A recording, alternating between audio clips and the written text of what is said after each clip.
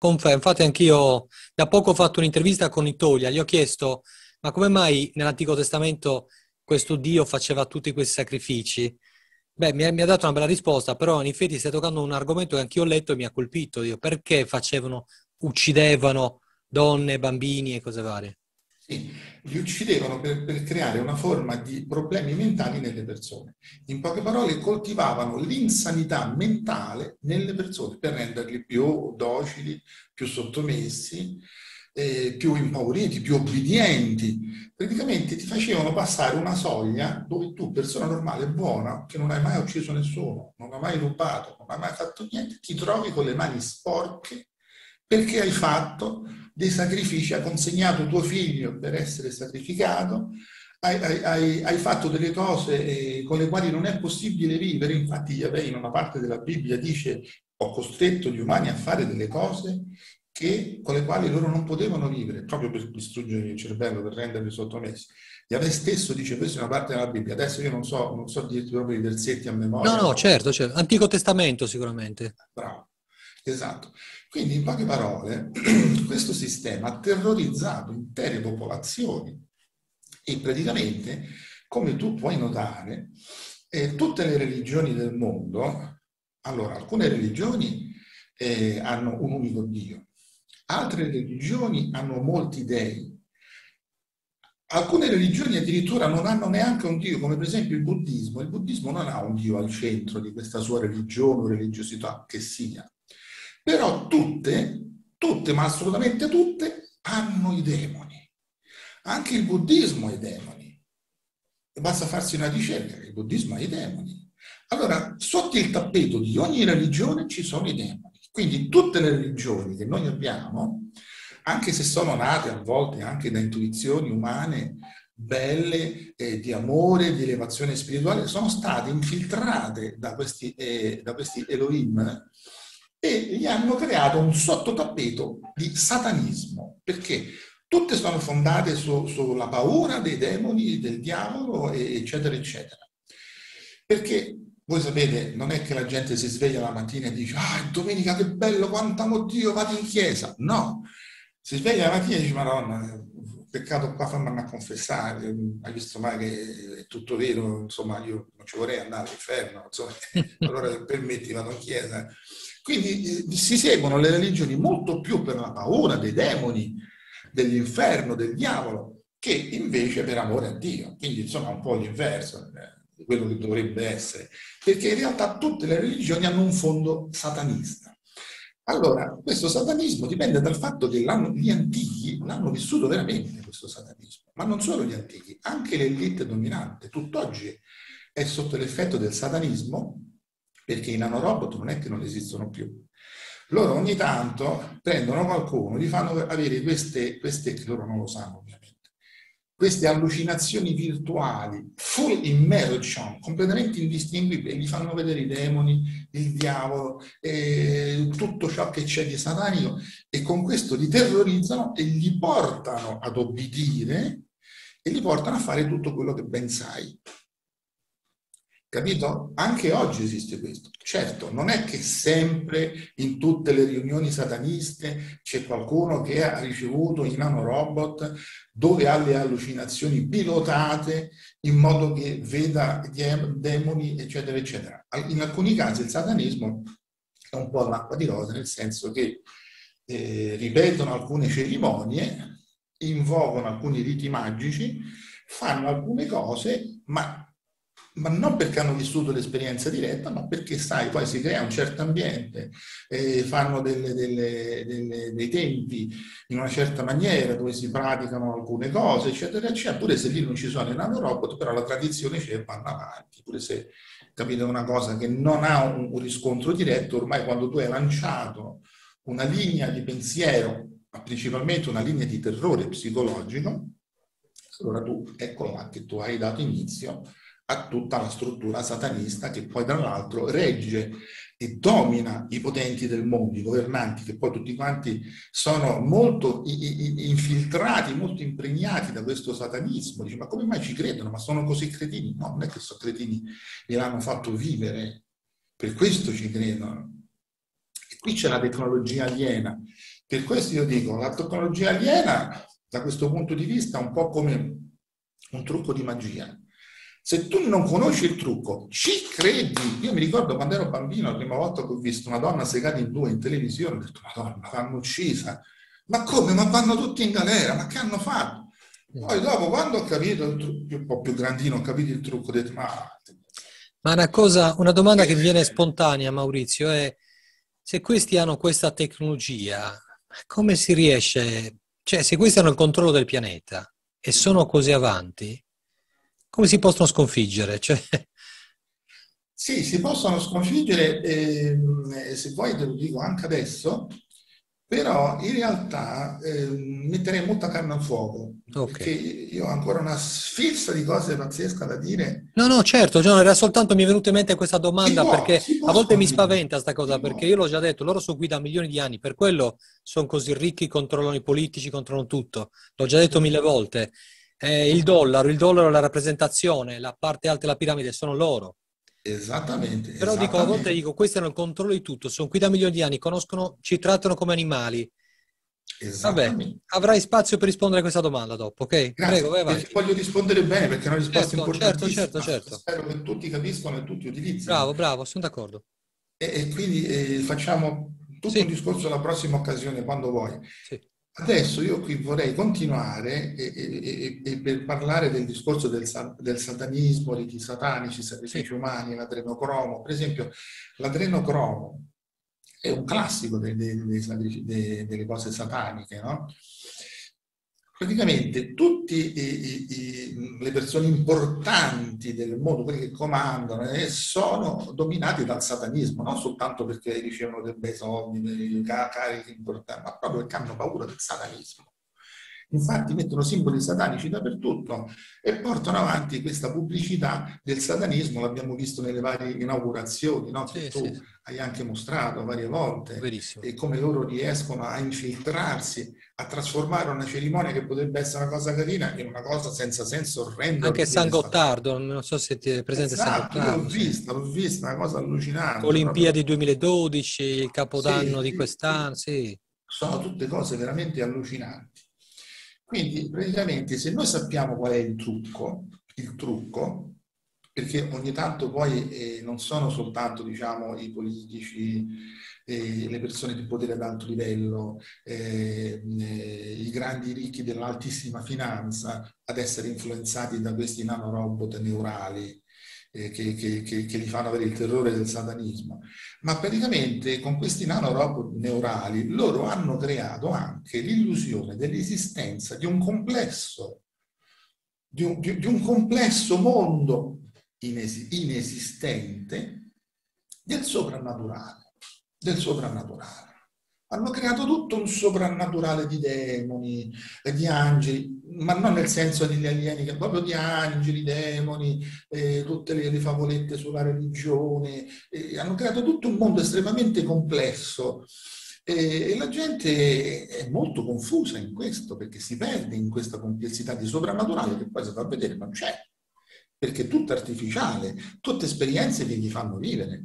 Questo ci allaccia anche al discorso de, delle, delle, delle, apparizioni mariane, eh, degli stigmatizzati, e ci allaccia tutto. Eh, io vorrei parlare anche degli stigmatizzati facendo alcuni riferimenti a persone che conosciamo, però e poi pare brutto perché dici ma le persone però in realtà eh, gli stessi nanorobot che producono ferite quelli che usavano nella Bibbia ti possono creare benissimo delle stigmati te le creano Magari le abbiamo, la prima volta. In Italia abbiamo Giovanni... Beh, Giorgio Bongiovanni, lo so. Bravo, sì, sì, sì, Infatti lui era un appassionato di, di, di questi temi, era un seguace di Eugenio Siracusa. Sì, corretto, corretto. Un grande amico di, di Giorgio Caria.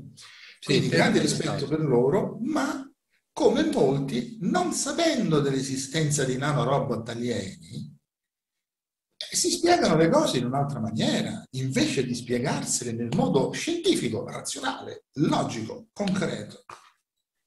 Ma come sei giunto però a questa conclusione dei nanorobot? Che, come sei arrivato a... Ma, guarda, io i nanorobot eh, è una, una, una, teoria che ho sempre studiato questo, quando avevo poco più di vent'anni ho cominciato a capire che esisteva la possibilità tecnologica di creare i nanorobot.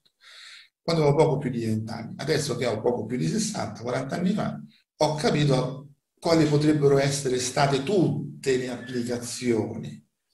Quindi ci arriveremo pure noi, però loro ci sono arrivati molto prima, per noi sono un mistero e invece per loro sono realtà quotidiane e la usano. Ma chi è, chi è, che le mette? Cioè, voglio dire, c'è una razza aliena, c'è la nanotecnologia, ok? Per esempio, uno ha una stigmate, uno ha queste visioni, chi è che però le rilascia? Ci deve essere sempre qualcuno di loro che... Sì, sì, sì, sì ma li piloti perché loro viaggiano questi questi... Ah, ok, ok. Praticamente sono radiocomandati, come se fossero droni. Come se fosse un drone, un drone però miniatura. Molto okay. piccoli, viaggiano in sciami, in sciami e, e, tu li puoi proiettare su chiunque, questo non saprà mai che ce l'ha perché sono estremamente piccoli, ma non li vedi proprio. Ti passano attraverso la pelle, li, li puoi inalare, li puoi mangiare, ma di, di solito passano attraverso la pelle, ti, ti arrivano ta, e ti fanno vedere tutte le allucinazioni che vuoi. Nel caso di, di non vorrei dire di Giorgio Bongiovanni, vabbè, io ho ipotizzato, almeno a livello mio personale, eh, perché c'è un episodio dove lui si rivolge alla Madonna, mi sembra, che lui cade in ginocchio con queste stimmati. Perché non ricordo bene cosa diceva la Madonna, mi sembra dicesse che voleva condividere con, con, con, con Gesù, non mi ricordo bene le frasi, però mi ricordo che lui cade in ginocchio con queste stimmati. Chiaramente gli alieni che sanno un po' tutto di noi, anche perché ci possono leggere il pensiero, perché con questi nanorobot loro sanno cosa pensiamo, allora, avevano visto che era molto predisposto, dice, vabbè, facciamogli avere questa cosa. Tac! E gli hanno fatto avere le prime stigmati. Gli stigmatizzati. E funzionano così. Le apparizioni della Madonna, le varie Madonne che appaiono da tutte le parti, in realtà, anche se molta gente dice no, ma le apparizioni della Madonna sono cose positive, perché dice cose carine, fate la pace, non fate la guerra, basta con le guerre, basta con le armi nucleari. Ok, però nel momento che tu fai apparire una Madonna, che in realtà a livello reale non esiste, è soltanto un'idealizzazione nella quale noi siamo stati portati a credere in tutto questo soprannaturale, è la conferma della faccia dell'altra medaglia che il soprannaturale esiste. Capito? Loro sì, ti fanno, eh, ti fanno allora la base, il sottotraccia portante, la colonna portante, il satanismo di fondo, ma, ma poi quando ti fanno vedere le Madonne, i santi, tutte queste apparizioni buone, in realtà è un rinforzo per dire guarda che il satanismo esiste, il diavolo esiste, l'inferno esiste e, e tutto questo è, è, il modo per rinforzare, sia pure dalla, dall'altra faccia della medaglia, l'idea del soprannaturale, del misticismo e quindi ti portano tutta la, la, la, popolazione umana a credere a un sacco di cose assurde e senza senso, allontanandoli, allontanandoli dalla scienza, dalla razionalità e dalla concretezza e dalla logica. Praticamente ti stordiscono e nessuno ci capisce più niente. La gente si arrende, dice no, non si capisce più niente. No? Si arrendono di fronte a questo perché non conoscono il trucco. E il trucco si chiama Nara incredibile. Come, come, difendersi da queste cose? Perché eh, dire, ci... c'è, c'è, il modo, c'è il modo. Poi, poi ne parlerò sì, accuratamente. Sì, sono curioso. Sì. Quindi, eh, questa cosa dei Nara, tra l'altro, spiega anche quello che è successo uh, nella famosissima storia di Adamo ed Eva, no? Noi sappiamo tutti che Adamo ed Eva è una storia molto controversa, tutti dicono un po' di tutti intorno a questa storia, ma in realtà da quello che ho capito io, perché quando tu sai che esistono i Nara riesci a spiegarti un po' tutto. Quello che ho capito io è che questi Elohim abitavano in questi recinti, eh, in, questi, in, questi, terreni recintati e protetti, come diceva, come dice Mauro Biglino, il, il Paradiso, no? E, ehm, e insomma abitavano lì e avevano bisogno della servitù chiaramente, no? Chi gli preparava da mangiare, chi gli coltivava il giardino, eh, chi gli faceva le cose a casa, aveva bisogno della servitù. Questi vivevano migliaia e migliaia di anni. A un certo momento, però, uno di loro si era stancato che questa servitù umana morisse presto, si ammalasse. perché tutte le volte doveva rinsegnare tutto di nuovo a qualcuno, guarda io, io quando vado a letto cioè, voglio la coperta messa così, quando devo mangiare io mangio a una certa ora e poi insomma queste cose banali che si insegnano alla servitù, no? come questi vivono migliaia e migliaia di anni, allora dice, ma io lo sono stufato, che tutte le volte devo sempre stare a spiegare a qualcuno quello che voglio, come mi piace, quello che mi piace. E che cosa ha fatto questo, questo Elohim? Ha detto, sai che faccio? Non lo dico a nessuno, però io a questi qui, al mio gruppetto, al mio gruppetto di servi, gli do eh, i nanorobot della lunga vita tra le funzioni dei nanorobot che io ho parlato prima, c'è anche un'altra funzione che io mi sono dimenticato di spiegare prima, scusa, questa è una cosa molto importante. E praticamente eh, noi, se vogliamo imparare, prendere una laurea, studiare, dobbiamo stare lì, leggi, leggi, leggi, leggi, impara a memoria, leggi, leggi. Uno sforzo pazzesco per memorizzare nei nostri neuroni, invece loro hanno in area della conoscenza. Praticamente è come se fosse una RAM aggiuntiva dove tu già sai a che temperatura bolle l'acqua, a che, a che, a che punto uh, c'è il congelamento dell'acqua, se c'è acqua eh, salata o... La, la conoscenza in pratica. La conoscenza, tutto! Eh, come è fatta la pianta, come si coltiva, questa pianta va annaffiata come, quest'altra, tutto, tutto c'è l'enciclopedia. Allora questi sono i nanorobot in area della conoscenza. Anche questi sono neurali, sono come un'aggiunzione di memoria, ma sono tutti piccolissimi, eh, non stiamo parlando di, di, di schede, non stiamo parlando di, eh, di, cose alla Frankenstein, stiamo parlando di cose piccolissime che sono perfettamente adeguabili, adeguate al funzionamento del cervello e del corpo umano. Non è un, un, una, un transumanesimo alla Frankenstein, loro hanno superato il discorso del transumanesimo perché sono, si sono mantenuti totalmente umani ma, ma con questi nanorobot che non disturbano in niente, anzi arricchiscono intanto la loro conoscenza, la loro salute, le loro capacità di interagire con la tecnologia, tutto quanto, meraviglioso. Stanno migliaia e migliaia di anni avanti a noi, logicamente. Certo. Questi robot della conoscenza, praticamente eh, a questa servitù del, dell'Elohim che ci aveva a casa, eh, lui lo sapeva che non bisognava farlo, però l'ha fatto io. Gli ha dato i nanorobot della lunga vita e, e, gli ha dato pure i nanorobot della conoscenza.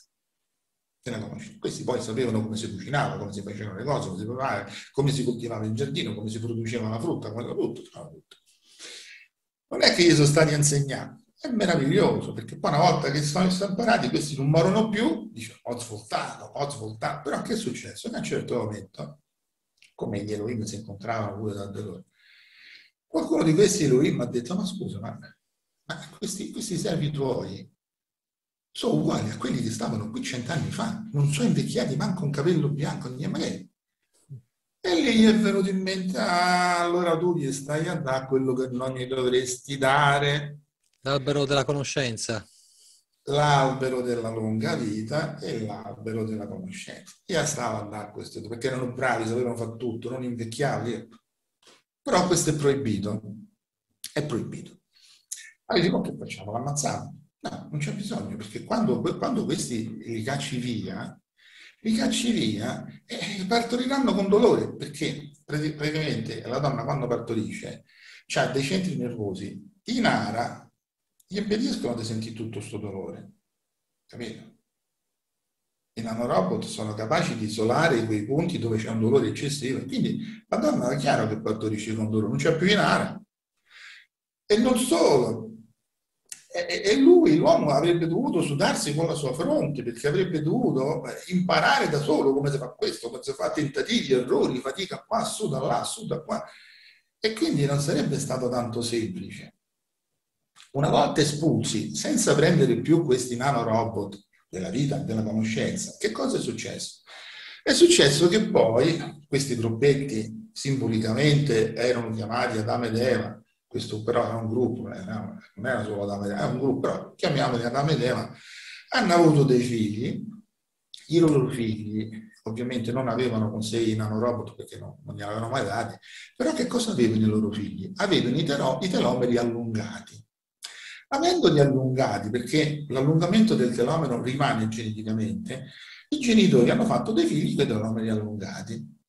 Però col passare delle generazioni e, senza i nanorobot, i tetrai si riaccorciavano, si riaccorciavano, fino a diventare normali. Infatti, Adamo ed Eva hanno vissuto 900 anni, i loro figli 800, i loro nipoti 700, poi 600, 500, 400, 200, 120, 100, e insomma quello l'ottantina sì, Troviamo questo nella Bibbia, c'è scritto nell'Antico Testamento, racconta... Sì, sì,